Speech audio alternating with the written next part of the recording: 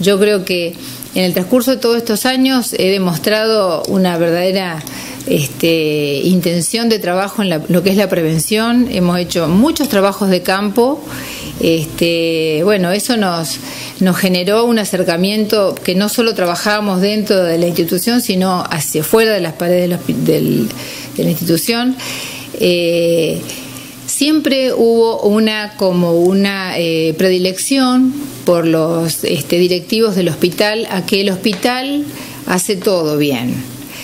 Y yo, bueno, vos sabés que fui secretaria de salud y en mi función este, defendí muchísimo la, la atención periférica porque creo que el trabajo que se hace en la periferia es muy importante porque se habla de, prevención. Prevención, exactamente. En, la periferia se hace vacunación también, como en el hospital, pero mucha gente accede fácilmente a las salas, entonces esto es, es un trabajo importante que yo lo destaco.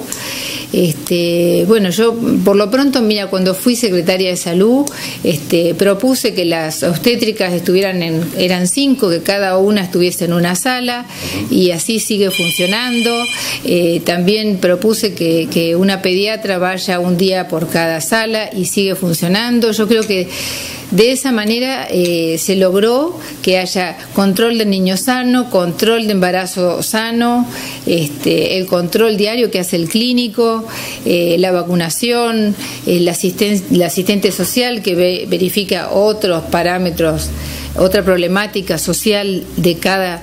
O sea que yo, ¿qué querés que te diga? Para mí la sala periférica es un lugar donde me nado cómoda, o sea que me sacaron la casita, este, me dolió muchísimo, francamente, me dolió, me, me sacaron una parte de mí eh, pero reconstruyo, reconstruyo como reconstruyo siempre en mi vida. Este, Adisa va a funcionar acá, en mi casa, en el garage. Eh, el garage se convirtió en un taller terapéutico donde va a trabajar una nutricionista. Eh, como, estaban en la casita. Claro, este, así que Adisa funciona también acá, así que bien, para adelante.